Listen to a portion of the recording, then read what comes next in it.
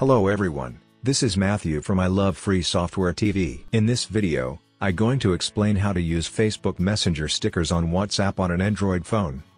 To do that, open the Facebook Messenger app on your phone, and go to the stickers sections.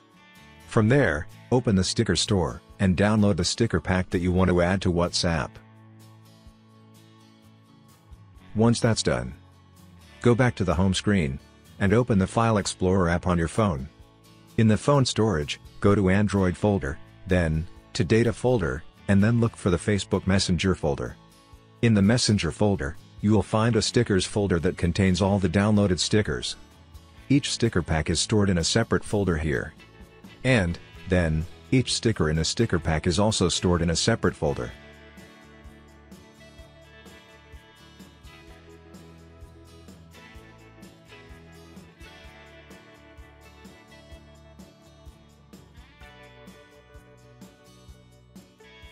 For this tutorial, I copied 12 stickers to a folder, you can copy any number of stickers with a minimum of 3 stickers in a folder.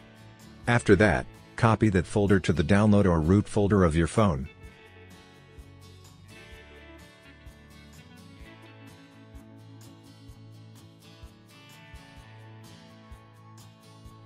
You can rename the stickers as well as the folder for easy sorting.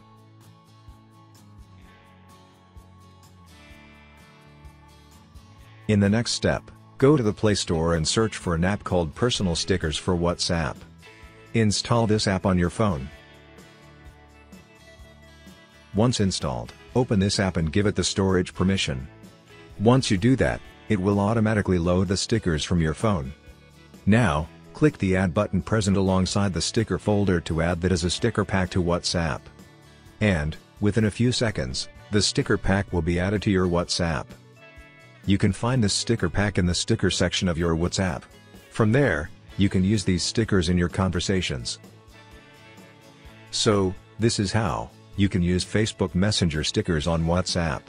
If you like this video, hit the thumbs up below and remember to subscribe to this channel for more videos.